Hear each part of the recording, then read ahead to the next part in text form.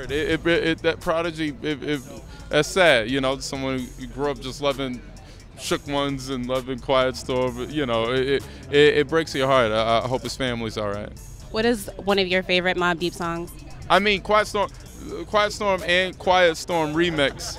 You know, I mean, that was like that was like Kim's greatest verse, right? Just the, it, it, was great. The the remix. It's still a thing that's freestyle to to this day. Everybody like kind of jumps on a Quiet Storm remix. So so it's great. I think he'll you know is will definitely live on. He'll live on. So it's beautiful. So what was it about this role in particular that made you be like, you know what, I need to do this? I mean, truthfully, I just wanted to work with Michael Bay. It was just a, it was a thing. We kind of found the role as we did it. You know, it was a thing.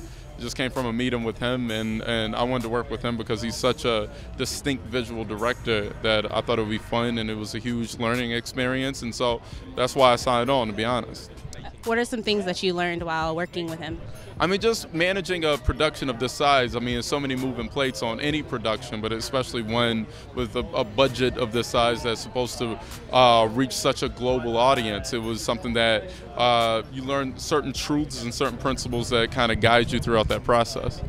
No, no, it's not even that. I think to me, what the entire episode is about is about uh, the expansion of consciousness. You know what I mean? It's about being beyond a certain amount of pain, being beyond certain uh, rules that kind of uh, dictate some of our lives and things that we adhere to unnecessarily. And so I think it's a great, interesting conversation. I really hope people enjoy it, and I hope it sparks deeper conversation in everyone's personal life.